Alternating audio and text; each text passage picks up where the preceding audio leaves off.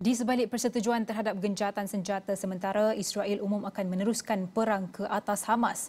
Perdana Menterinya Benjamin Netanyahu bertegas serangan ke atas Hamas akan diteruskan sebaik sahaja gencatan senjata tamat. Menurut Netanyahu, perkara itu sudah dimaklumkan kepada Presiden Joe Biden menerusi panggilan telefon. אני רוצה להיות ברור.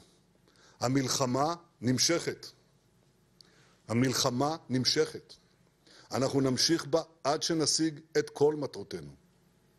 להשיב את כל חטופינו, לחסל את החמאס, ולהבטיח שביום שאחרי החמאס לא ישלוט בעזה גורם שתומך בטרור, שמחנך את ילדיו לטרור, שמשלם למחבלים או לבני משפחותיהם.